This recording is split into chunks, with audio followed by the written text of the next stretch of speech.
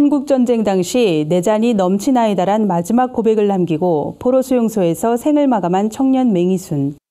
최근 제자들이 기증한 육필일기가 책으로 출간되면서 맹희순의 삶이 다시금 주목을 받고 있습니다. 죽기까지 복음 전파와 이웃사랑을 멈추지 않았던 맹희순의 삶을 박은정 기자가 소개해드립니다. 장로의 아들로 태어난 맹희순.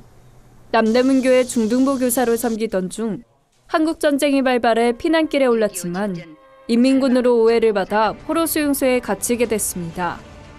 억울할 법도 하지만 맹희수는 자신의 처지를 비관하지 않았습니다. 오히려 수용소를 전도의 황금어장이라 생각하고 광야교회를 세워 선교의 사명을 다했습니다. 석방될 기회가 있었지만 수용소에서 복음을 전하겠다는 맹희순의 의지는 완강했습니다.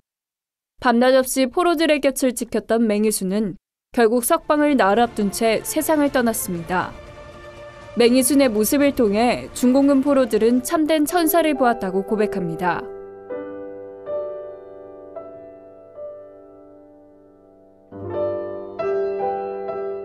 원망과 불평이 아니라 감사와 기쁨으로 주여 내 잔이 넘치나이다 하는 어, 그런 고백을 한 것이 아닌가. 그래서 아마 정윤희 선생님 소설 책 제목도 내 잔이 넘치나이다. 마지막 운명할 때 외치셨던 그 말씀이 아주 상징적으로 한국교회 주는 의미가 굉장히 크다고 생각합니다.